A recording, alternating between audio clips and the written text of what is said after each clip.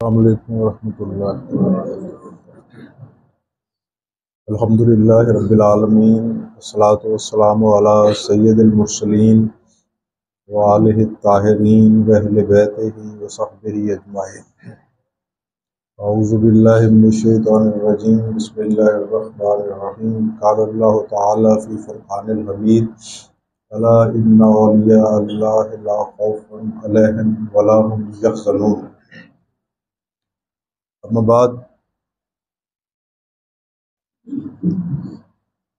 औलिया अल्लाह को ना कोई खौफ है और ना कोई गम। ये बुनियादी तौर पे अल्लाह के वलियों की दो सिफात वाला शान बयान फरमाई गई है।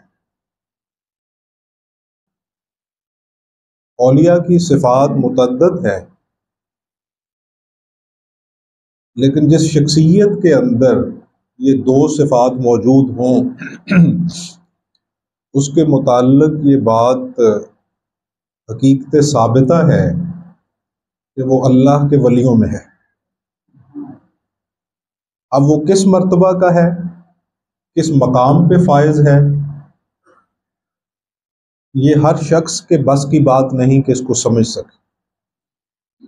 इसीलिए फारसी में कहते हैं कि वली रा वली मी शनासत। वली को सिर्फ़ वली पहचान सकते और अरबी में कहते हैं कि अल जिन्स युहिब्बुल जिन्स।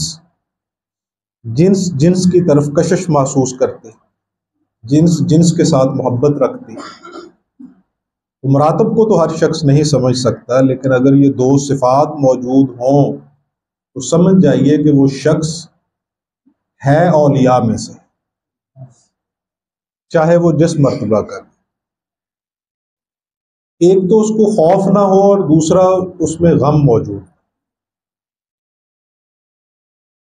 अब इन दोनों को समझना ज़रूरी है। खौफ हमेशा मुस्तकबिल का होता है। आने वाले ज़माना का होता है। मेरे साथ कल पता नहीं क्या होगा और गम गुजश्ता का होता है। गुजरे हुए का। जिसको हम लकीर पीटना कहते। हैं तो वली की दो सिफात कुरान ने यह बयान फरमाई है कि ना तो वो अपने माजी के साथ इस तरह वाबस्ता और मुंसलिक होता है कि उसकी वजह से गमगीन रहे। और ना वो मुस्तकबिल के लिए परेशान होते। वो हाल में जीता। उसकी हालत उस एतमाद की और एतकाद की होती है, जो एक छोटे बच्चे में मौजूद होता। तो माँ का दूध पीने के बाद उसकी आगोश में गहरी नींद के साथ सो जाता है। और उसे ये फ़िक्र नहीं होती कि कल मुझे दूध मुयसर आएगा या नहीं। उसे मालूम है कि मेरी माँ मौजूद है। उसकी आगोश मौजूद है। और जिसने मुझे आज दूध पिलाया है, वो कल भी पिलाया और जिसने मुझे आज दूध पिलाया है, उसने कल भी पिलाया था। फिर उस वली का एतकाद और एतमाद उस बच्चे की तरह होता है, जिसको माँ लाड करते हुए, प्यार करते हुए उछालती है और वो आगे से मुस्कुराता है। हालाँकि उस वक्त उसका गिरना भी मुमकिन वकू हो सकता है। वो गिर भी सकता है। हो सकता है कि उसको उछालने वाले ने इसलिए उछाला हो कि वो गिर जाए, लेकिन वो फिर भी मुस्कुराता है। और उसके मुस्कुराने की वजह माँ के ऊपर एतमाद है कि चूँकि मेरी माँ मौजूद है, इसलिए मुझे गिरने नहीं दे।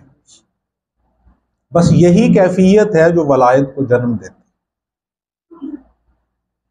आज हमारा जो मौजू बहस है, उसी की ये तमहीद है। गुफ्तु को शुरू, उसी शख्सियत के एक कॉल के हवाला से करना चाहूँगा। शेखुल मशाइक सैयद अब्दुल कादिर जिलानी रहमा फरमाते हैं, पूछा गया कि हज़रत वली किसे कहते हैं? आपने फरमाया कि वली उसे कहते हैं जो मिजाब तकदीर के नीचे पुरसकून नींद सो जाए। मिजाब पर नाले को कहते हैं, अरबी में। यानी जो तकदीर का नाला है, तकदीर का परनाला है, मुराद हज़रत की यह है कि जो अल्लाह की रजा है, उसके आगे सरेंडर करते हुए पुरसकून हो जाए वो वली है। उसकी कैफियत में कोई तजब्जो बाकी ना हो। कोई तशक्क मौजूद ना हो।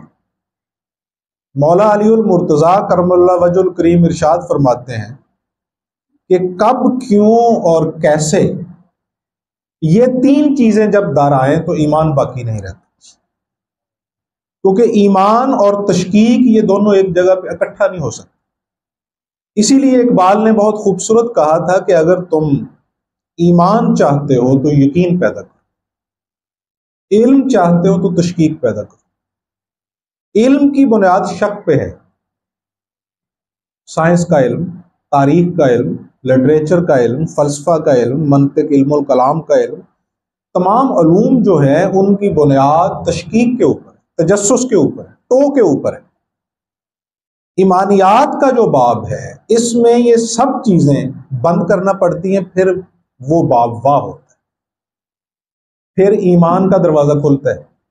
जब हमारी तबीयत में से शक दूर हो जाए तशकीक ख़त्म हो जाए, खौफ ख़त्म हो जाए, क्योंकि हमें ये मालूम होता है, जिस तरह उस बच्चे को मालूम होता है कि मेरी माँ मौजूद है।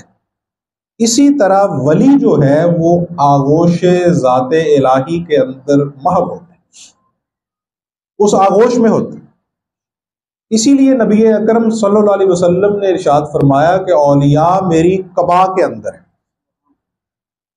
औलिया मेरी कबा के अंदर यानी मेरी बुकल दे ने। और इनके मकामो, मरतबा को मैं ही जान ला यारफ गैरी आपने फरमाया, इनका इरफान दूसरा हासिल नहीं कर सकता। वली की वलायत की निशानियाँ उनसे अंदाज़ा आप लगा सकते हैं कि ये वली खौफ नहीं होगा, गम नहीं होगा, कौल और फेल में तजाद नहीं होगा। यह तीसरी निशानी, जो कहेगा वही करेगा। जो करेगा नहीं, वो कहेगा नहीं। उसके दिन के उजाले और रात के अंधेरे में तजाद नहीं होगा। जैसा उसका दिन का उजाला होगा, वैसा ही उसका रात का अंधेरा। ये जिस शख्स में ये सिफ्त पाई जाए, वो वली है। फिर उसकी खलवत और जलवत में तजाद नहीं होगा। जैसा वो लोगों के पास है, ऐसा ही वो खलवत में होगा। अगर ऐसी शख्सियत है कोई तो वो वली है। यानी मरातब वलायत जेर बहस नहीं है। उनका इदराक गैर वली नहीं कर सकते। वो ताल्लुक रखते हैं उसके मकामात के साथ। जो खुद साहिब मकाम है, या साहिब मंजिल है, या साहिब सलूक है। दूसरा सिर्फ़ उन निशानियों से अंदाज़ा लगा ले और जब ये निशानियाँ किसी में पाई जाए तो फिर वो वली होते औलिया में उसका शुमार होगा। कौलोफेल में तजाद ना हो खलवत और जलवत एक जैसी हो, दिन का उजाला और रात का अंधेरा यकसा हो, खौफ ना हो, गम ना हो। तवक्ल हो अल्लाह के ऊपर, तकवा मौजूद हो। अल्लाह के अलावा किसी का खौफ मौजूद ना हो। तबीयत के अंदर दुनिया के साथ बेतनाई हो। तो बहुत अजीब बात एक साहिब इल्म नफ्सियात ने कही थी कि दुनिया बड़ी बेवफा और अजीब चीज़ है। और इस कौल का आप मुशाहिदा तारीख आलम में भी कर सकते अपनी ज़िंदगियों में भी कर सकते उसने कहा था, ये बड़ी जालिम चीज़ है, जो इसके पीछे दौड़ता है, ये उसके आगे दौड़ता है। और जो इसके आगे दौड़ता है, ये उसके पीछे दौड़ता है।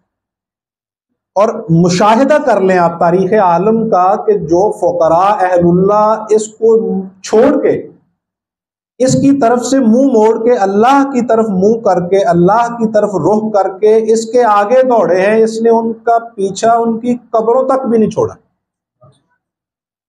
उनकी कब्रें भी आबाद हैं और वहाँ भी आवाम का और इस मखलूक का जमगटा लगा हुआ है। उनकी कब्रें भी बेआबाद नहीं हुई। और जिन्होंने इसके पीछे दौड़ने की कोशिश की है, उनके आगे ये इस तरह दौड़ी है कि उनकी कब्रें भी वीरान हो। अगर गीती सरासर बाद गिरत, चरागे मुकबिला हरगिज नमीरत अगर ये कायनात ज़मीन व आसमान सरासर हवा में भी तब्दील हो जाए तो जो अल्लाह के मकबूल बंदे हैं, जो अल्लाह की बारगाह के मकबूल बंदे हैं, उनका चिराग नहीं बुझ सकता। उनका चिराग हमेशा रोशन रहे। लेकिन एक बात हमेशा पेश नज़र रखिए कि इतर निकला हुआ, खुशबू देता हुआ तो हमें नज़र आता है। और हम उससे महजूज होते हैं। उससे हम सुकून हासिल करते हैं।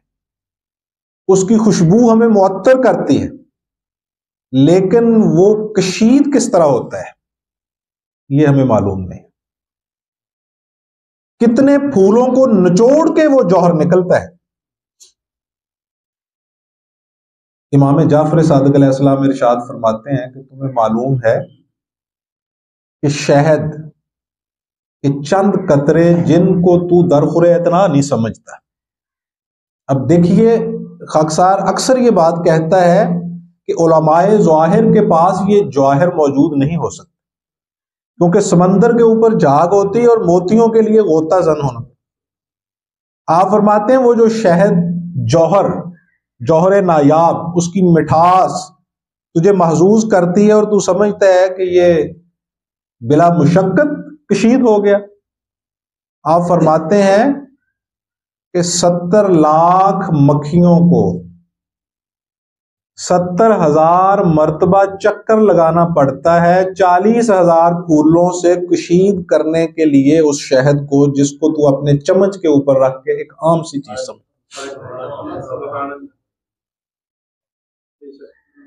कितने चक्कर लगाती है मक्खी और कितने फूलों का रस चूसती है? फिर उनमें से वो जौहर निकलता है। ये जो वली होता है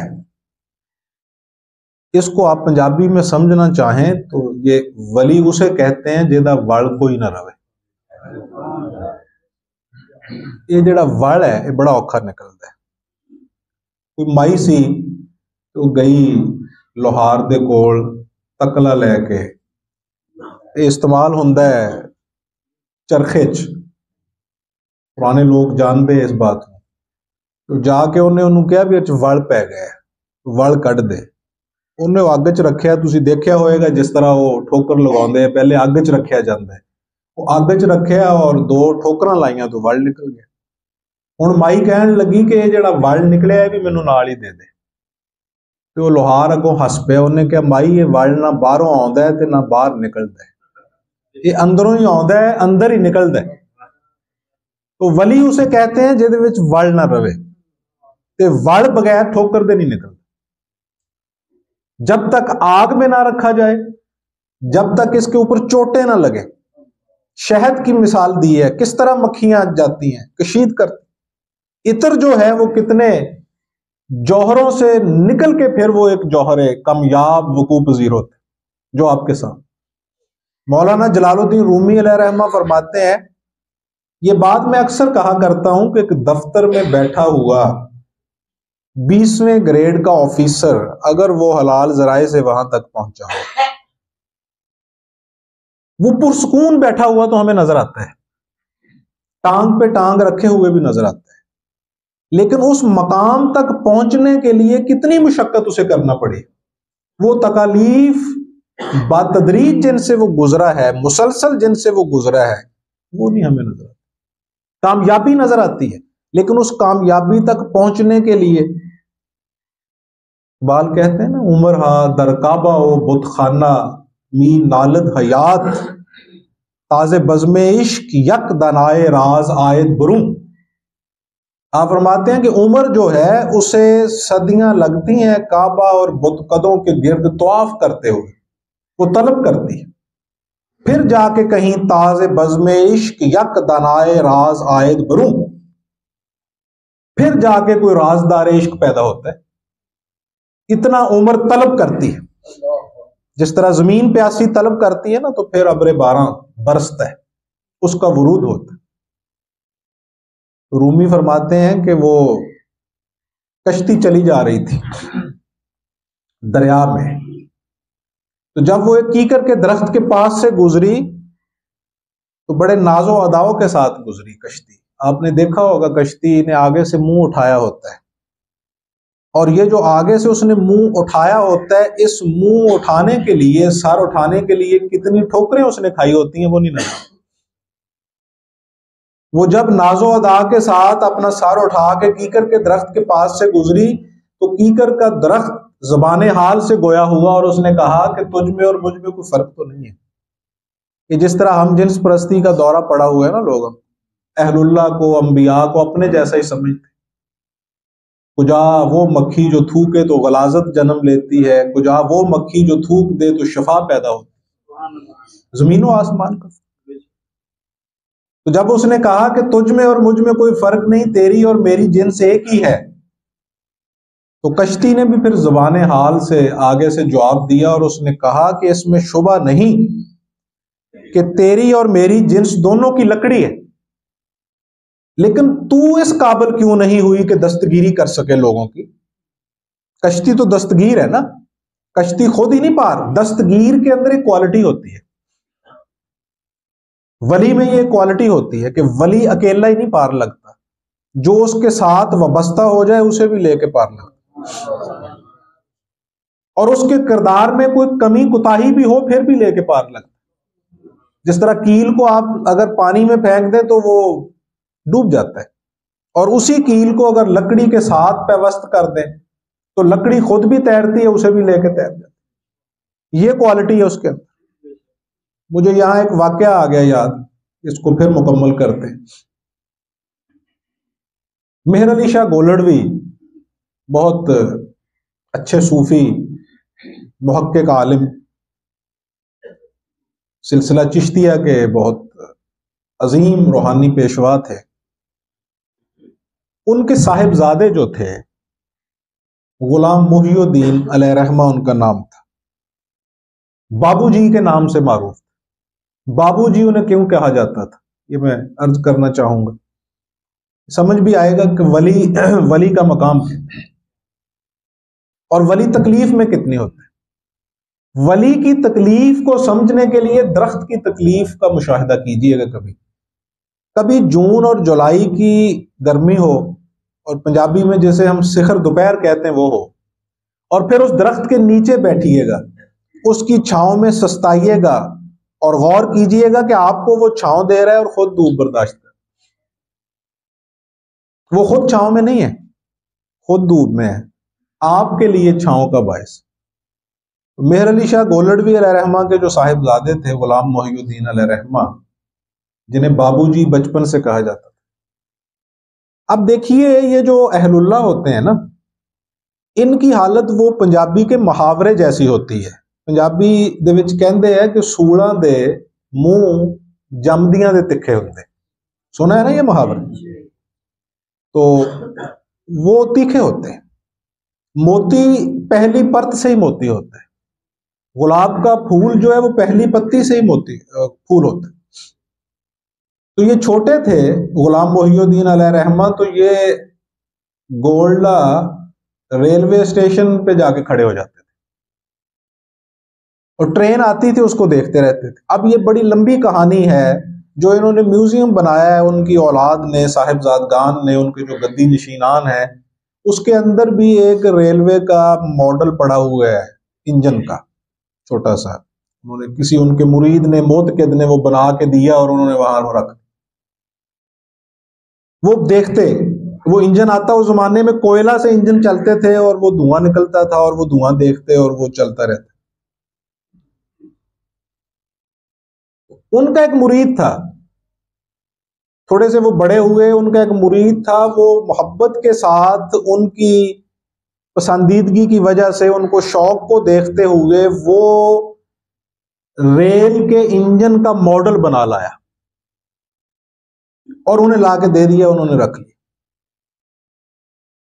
अब मेहर अली शाह गोलड़वी ने कहा अपने मुरीदों से कि, बाबूजी, से ये तो पूछ लो कि इन्हें ये पसंद क्यों है?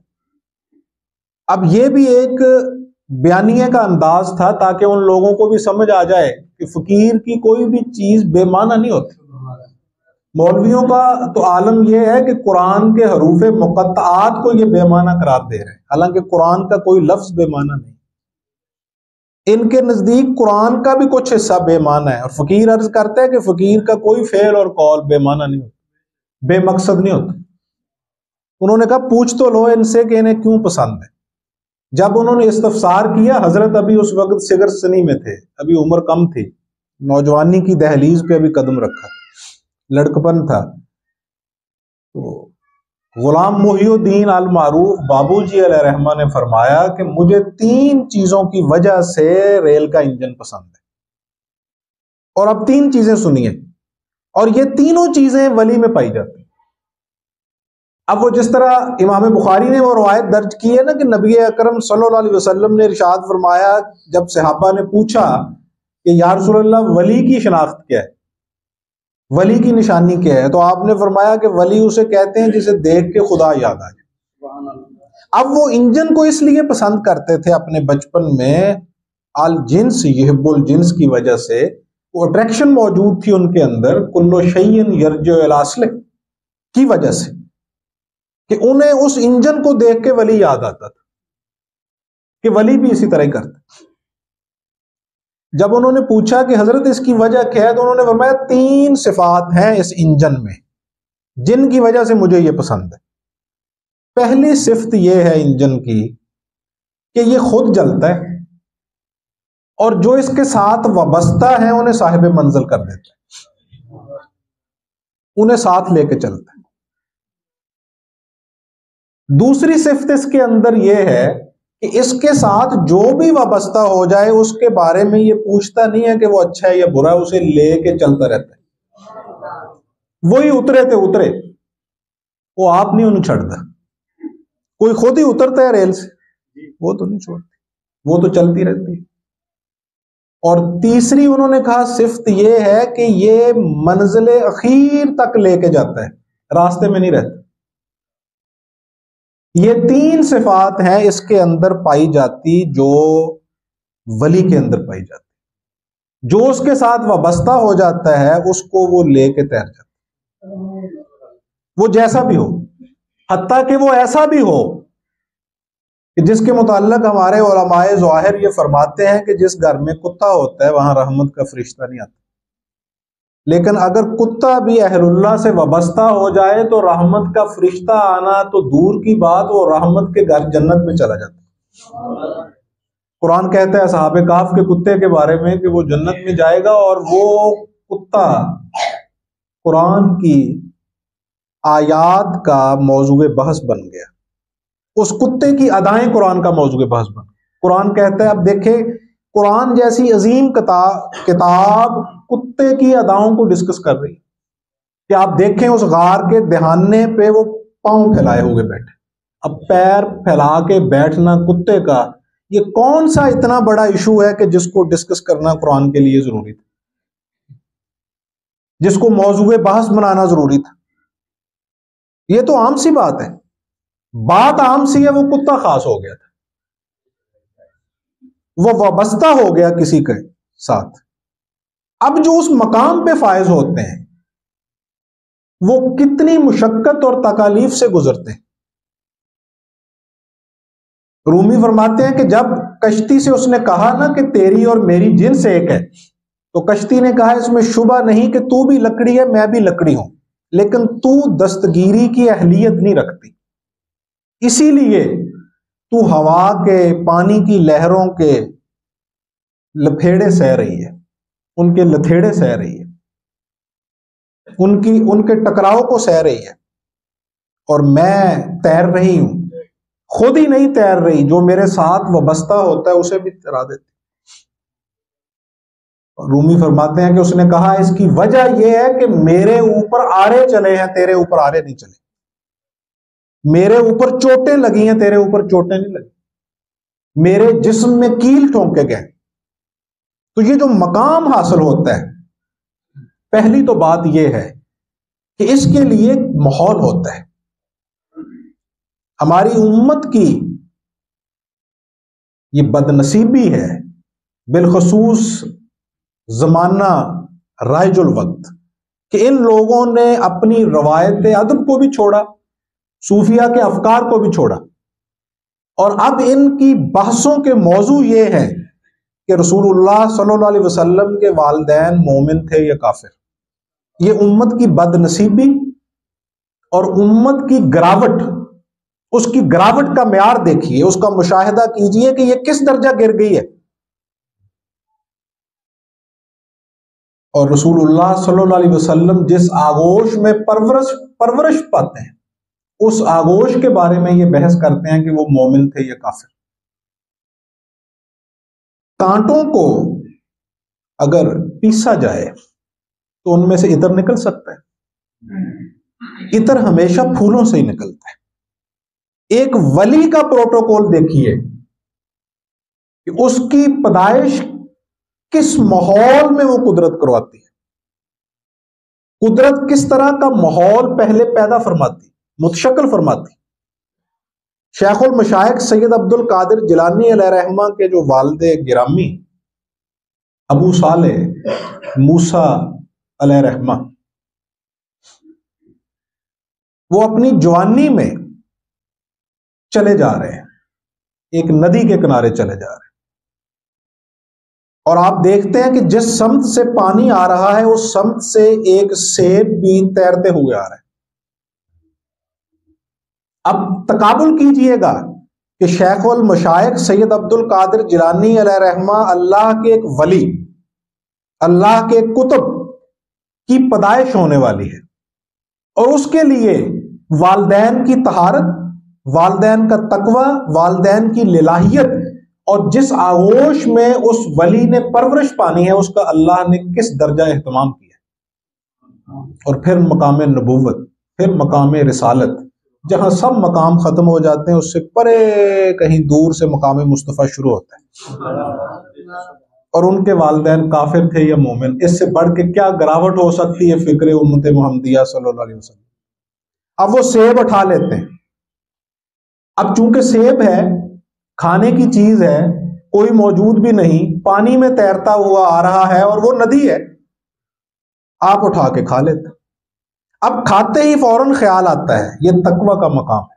आम आदमी इसका मुकल्लफ नहीं आम आदमी के लिए कवानीन और है। आप फ़िक इस्लामी का बिल इस्तेजाब मुताल कर डालिए, आपको नज़र आएगा कि फ़िक में, चाहे वो अहल सुन्नत की फ़िक हो, अहल तशैय की फ़िक हो, उसके अंदर कवानीन एक नहीं है। गुलाम के लिए और हुक्म है, आज़ाद के लिए और अहकाम है, आलिम के लिए और हुक्म है। जाहिल के लिए और हुक्म अहकाम बदल जाते हैं। पूछा ना इमाम अबू हनीफा रहमा से एक खातून ने कि मैं छत के ऊपर मेरा एक चुबारा है और उस चुबारे में एक खिड़की है और उस खिड़की में से रोशनी आती है। सामने वाले चुबारे की मशल की और उसके रोशनी में बैठ के मैं चरखा काटती हूँ और उस सूद से मैं कपड़ा बुनती हूँ। मेरे लिए वो बेचना हलाल है या हराम है। अब इमाम अबू हनीफा भी परवरदा हैं दर के। वो खुश्क मुफ्ती नहीं है कि फ़ौरन फतवा जाड़ दें। उन्होंने पूछा कि, बीबी, आप कौन हैं? अपना तारफ करवाइए।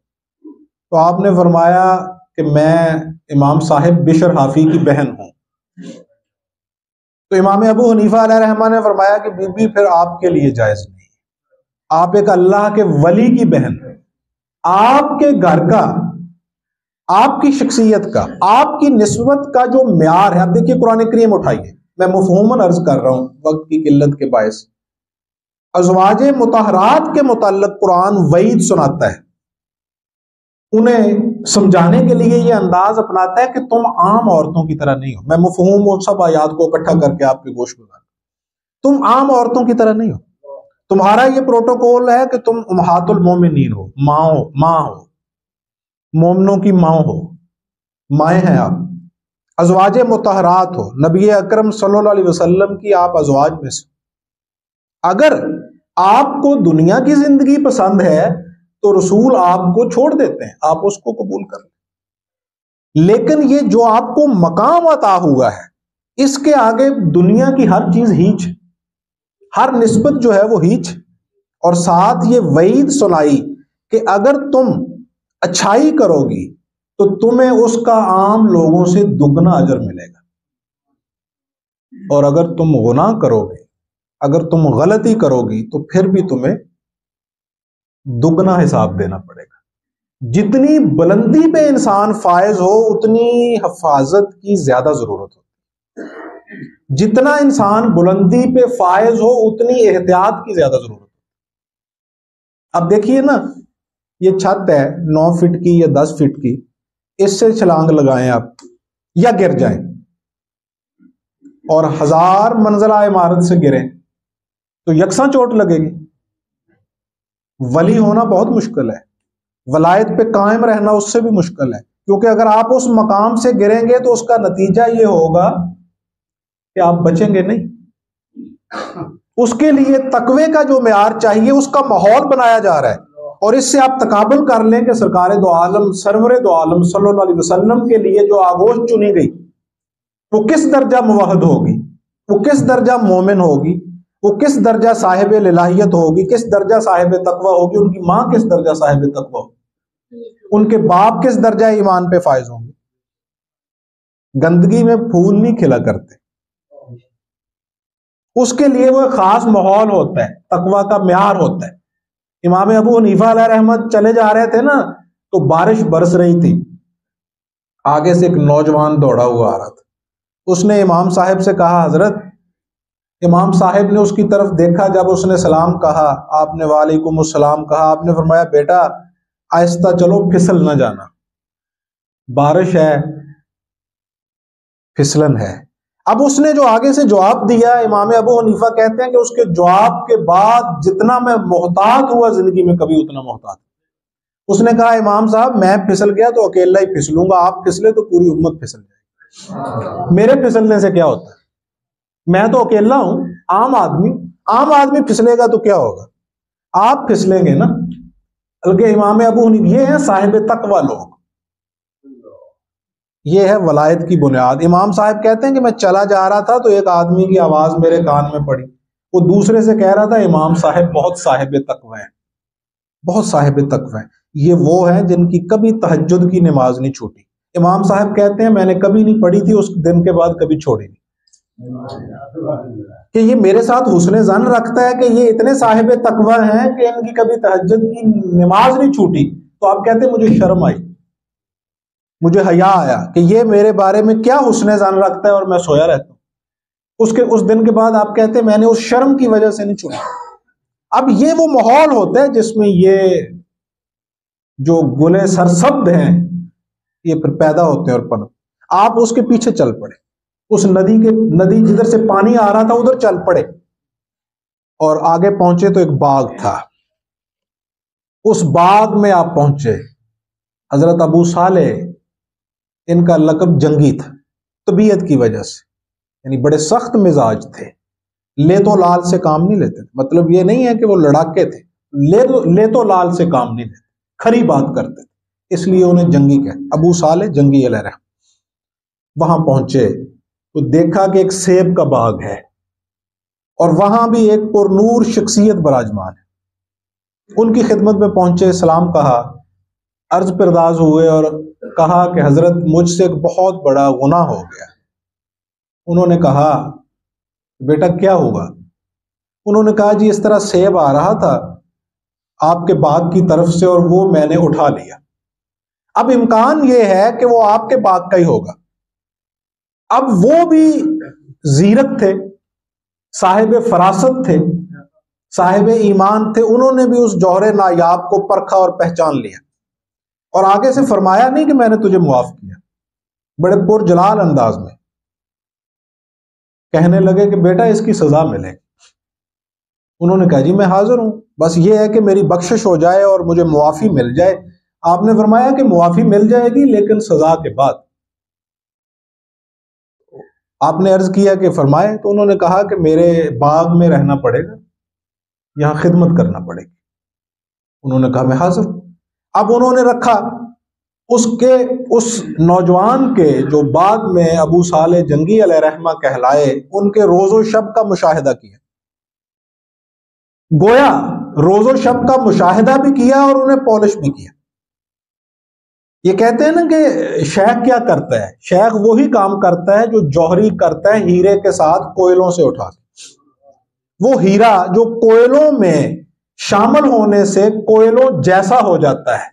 फितरतन तो वो हीरा ही होता है, लेकिन कोयलों जैसा हो जाता है। अब उसको कोई हाथ लगाना ग्वारा नहीं करता। जौहरी, जौहर शनास उसको उठाता है, फिर उसको निखारता है, फिर उसको रगड़ता है, फिर उसको पॉलिश करता है। वो फिर किसी बादशाह के ताज के अंदर पैवस्त होने की अहलियत से ममलू हो जाता है। वही जो पहले कोयलों में गिरा हुआ था। ये करता है शेख कामिल। बिल्कुल उसी तरह, जिस तरह एक लोहार एक खुंडे किस्म के लोहे को उठाता है और उठा के उसको लोहे में रखता है आतश ज़्यादा करता है और फिर उसको चोटें लगा लगा के इतना तेजदार कर देता है कि वो हर चीज़ को काट के रख देता है। इसीलिए तो रूमी ने कहा है ना कि जो लोहा आग में हो, फिर वो लोहा नहीं रहता, वो आग ही हो जाता फिर रूमी फरमाते हैं कि अगर तुझे यकीन नहीं तो हाथ लगा के देख ला। वो आग वाला ही काम करता तो ये जौहर शनासी जो है, उसकी वजह से आपने उन्हें चुन लिया और फिर उन्हें पॉलिश किया, अपने पास रखा। और आखिर पे फरमाया, ये दरअसल जो आगे मैं बात करने लगा हूँ, ये हज़रत अबू साल रहमा का वाक्य है, जो खुतबा अक्सर कई जगह मंसूब करके बयान करते आपने फरमाया कि अब दूसरा तेरे ऊपर जो इस, इसकी सजा का दूसरा कानून जो तेरे ऊपर नाफज है, वो ये है कि मेरी एक बेटी है, उससे तुझे निकाह करना पड़ेगा। और वो जो मेरी बेटी है, वो समाज से भी महरूम है, वो बसारत से भी महरूम है, वो कलाम से भी महरूम है। ना वो बोल सकती है, ना वो सुन सकती है, ना वो देख सकती है। उसके साथ निकाह करना पड़ेगा अगर तू निकाह करने के लिए तैयार है तो फिर तुझे वो सेब खाया हुआ मुआफ हो जाएगा। अब गौर कीजिए कि क्या तकवा का मैार है जहाँ पे शेख सैयद अब्दुल कादिर जिलानी जैसी शख्सियत पैदा और ये नबी अकरम सल्लल्लाहु अलैहि वसल्लम के वालदेन पे बातें करते हैं कि वो मोमिन थे या काफिर। वहाँ फितरत ने कोई माहौल नहीं बनाया। यहाँ आलम यह है आप सौ सेब खा जाते हैं ज़िंदगी में लोगों के उठा के टस से मस नहीं होती। ना आपका जमीर बोलता है, ना ईमान के ऊपर जू रिंगती है। यहाँ आलम यह है कि वो खिदमत कर रहे हैं इतने साल से एक सेब के लिए और वो उठाया भी नहीं है किसी के यहाँ से। ये भी नहीं है कि किसी रेडी से उठा लिया। ये भी नहीं है किसी सेब की पेटी से उठा लिया।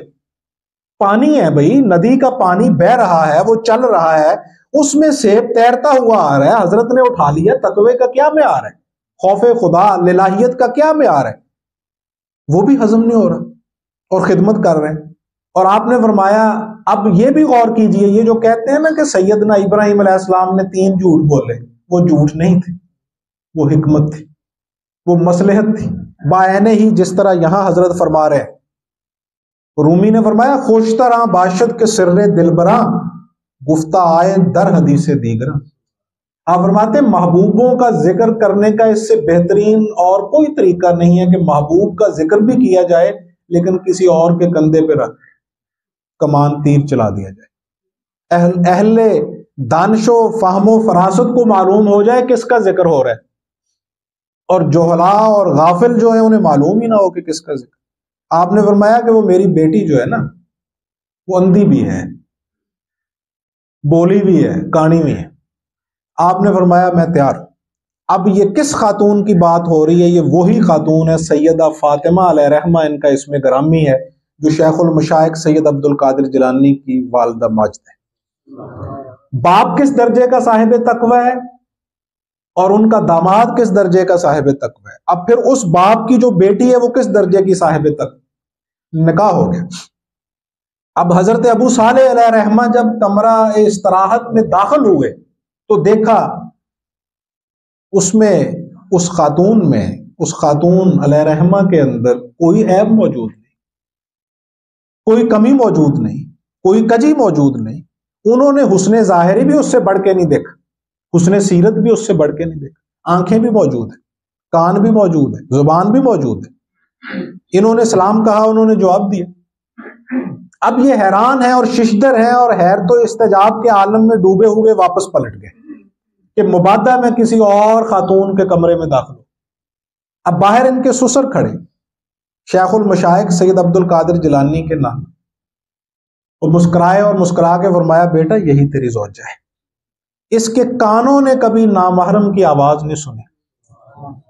इसकी ज़ुबान ने कभी नामहरम के साथ मुखातबत नहीं की। इसकी आँखों ने कभी गैर नहीं देखा। इस एतबार से ये अंधी है।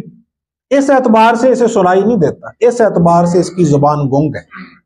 अब ये वो माहौल है जिस माहौल में शेखुल मशाइख सैयद अब्दुल कादिर जिलानी की वलादत हुई।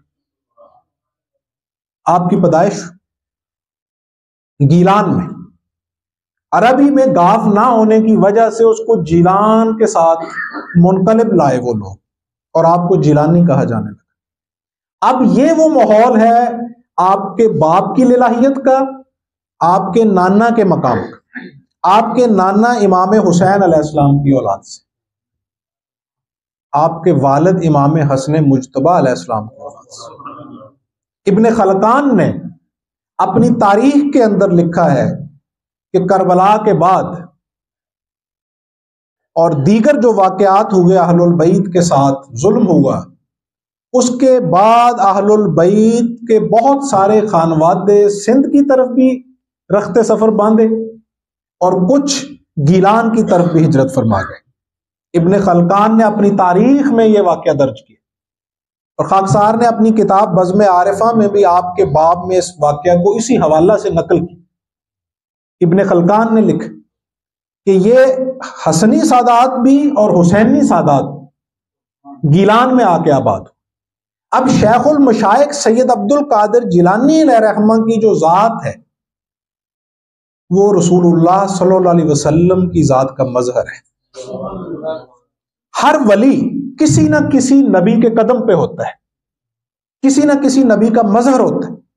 जिस तरह सरकार दो आलम सल्लल्लाहु वसल्लम मजमौल बहरैन है खालिक और मखलूक के दरमियान इन्ना माना कासिम वल्ला हो योत, वो अता करता है, आप फरमाते हैं, मैं तकसीम करता आप मजमूल बहरैन है खालिक और मखलूक के दरमियान में।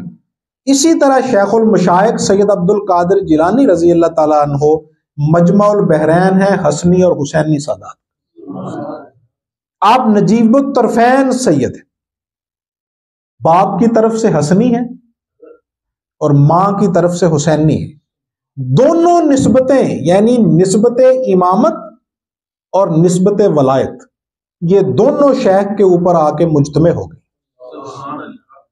जो इमामत है, वो इमाम हुसैन अलैहिस्सलाम की ज़ात और आपके नसब में रखी गई। और जो वलायत है वो इमाम हसन मुजतबा के नसब में रखी। और शेखुल मशाइक सैयद अब्दुल कादिर जिलानी पे आके वो दोनों नस्बतें इकट्ठी हुई। नस्बत इमामत भी और नस्बत वलायत भी।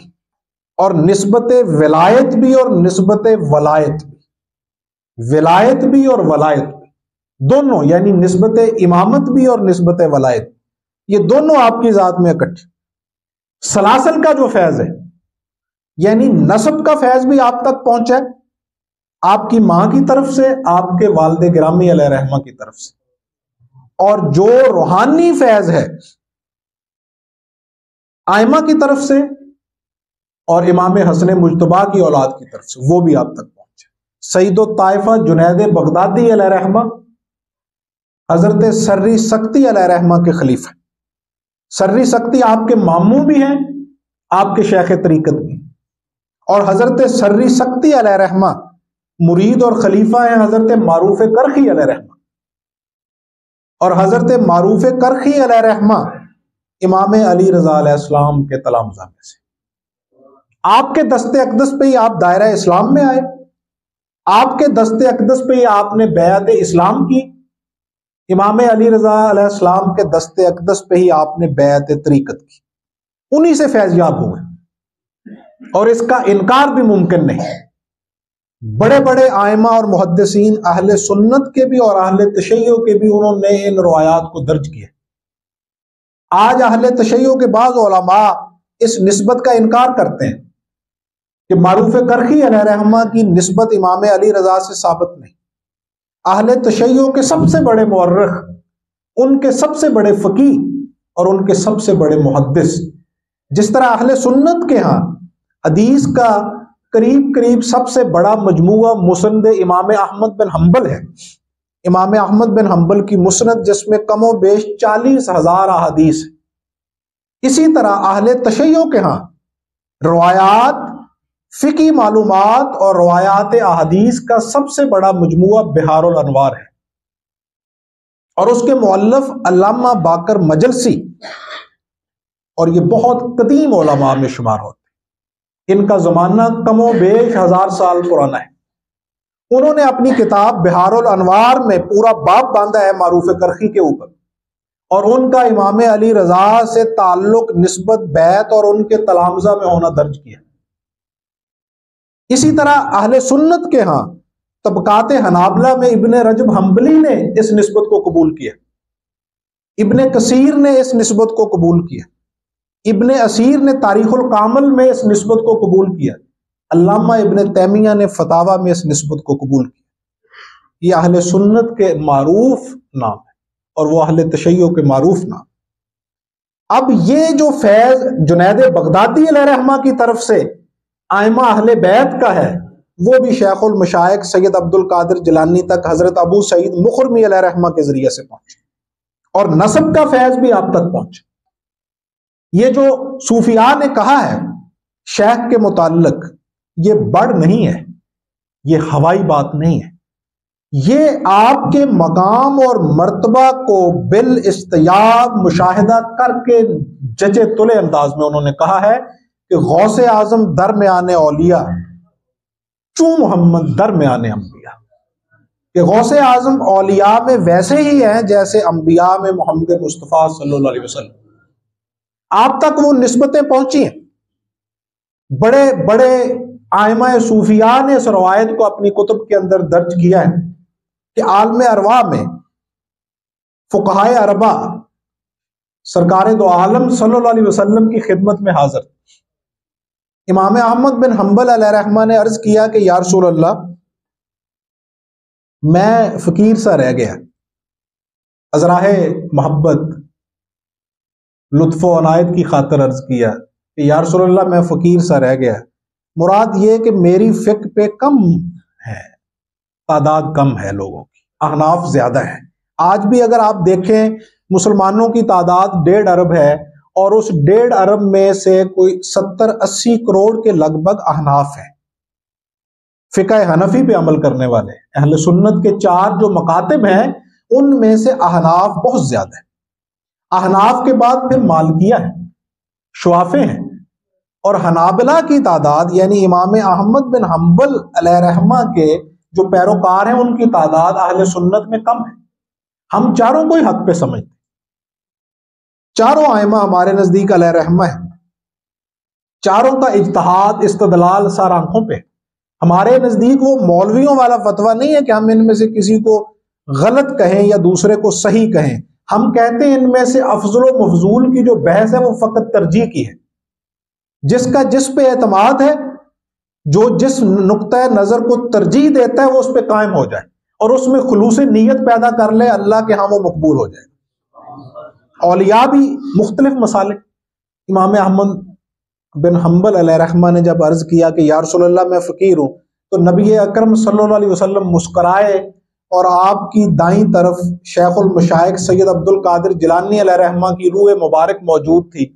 आपने उनको पकड़ा और पकड़ के कहा अहमद बिन हम्बल आज से तू फकीर नहीं है हमने तुझे अपना बेटा अता किया। शेखुल मशाइक सैयद अब्दुल कादिर जिलानी हम्बली और मशरब तो उनका एक होना ही काफ़ी बाकी यहाँ पे मैं ये भी अर्ज़ कर दूँ कि ये जो हमारे यहाँ बासें मौजूद हैं कि जी फलां बुज़ुर्ग बड़े मरतबे का है या फलां बुज़ुर्ग बड़े मरतबे का है, ये कज फहमी और कज फिक्री का नतीजा है।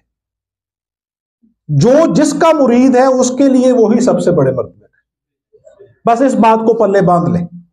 बाकी किसी को ना छेड़े। अपना मसलक छोड़ो ना, किसी के मसलक को छेड़ो अब वो देखिए रसूलुल्लाह सल्लल्लाहु अलैहि वसल्लम की वालदा मोहतरमा। अभी इधर प्रोटोकॉल देखिए, फिर तकाबुल साथ साथ खुद करते रहिए। आपकी वालदा ने आपको हसूल इल्म के लिए इजाज़त, मरहमत फरमाई के जाओ बगदाद। आपने अर्ज़ किया वालदा से कि मुझे दीन की खातर आप अपने हकूक मुआफ फरमा दें। आज़ाद कर वालदा ने फरमाया कि ठीक है, मैं तुझे दीन की खातर आज़ाद छोड़ती हूँ, तुझे अपने हकूक मुआफ कर दे अब चल पड़े। इस तकवे के बाद फिर वलायत जन्म लेती माँ का तकवा, बाप का तकवा। आगोश, खाना क्या खिलाया गया है? इमाम शाफी रहमा आए ना, वो बड़ी मारूफ बात है, इमाम अहमद बिन हम्बल के घर। तो रात को खाना ज़्यादा खा लिया। तो इमाम अहमद बिन हम्बल ने बड़ी तारीफें की थी अपने उस्ताद की।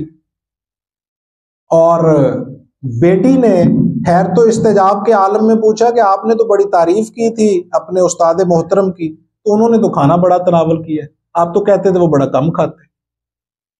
तो इमाम अहमद बिन हम्बल ने कहा कि बेटी, मैं तो उनका शागिर्द हूँ, मैं तो उनकी ज़ात पे शक नहीं कर सकता। ना तशकीक का शिकार हो सकता हूँ, तू पूछ ले।